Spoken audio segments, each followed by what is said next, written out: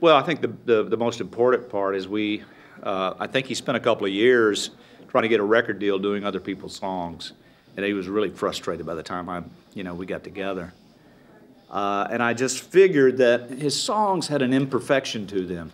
But it, buried in that imperfection was an honesty and, and everyman language was buried in there. And I thought, you know, he doesn't need to run through the Nashville system because Nashville is notorious for turning you into a craft writer. And I deliberately pushed back on that and, and wouldn't do that.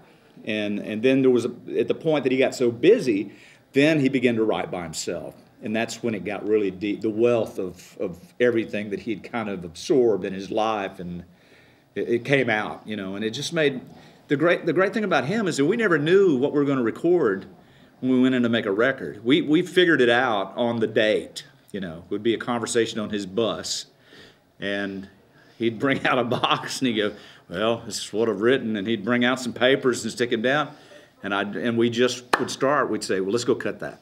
You know, so we'd cut one and then we'd come back and sit on his bus and I'd go, what else you got? And he'd, he'd dig through there and we'd find another one. So it's probably the easiest record making process I've ever been through. And he just made it easy. And I let him be who he is instead of trying to make him conform to something that would never be truthful for him.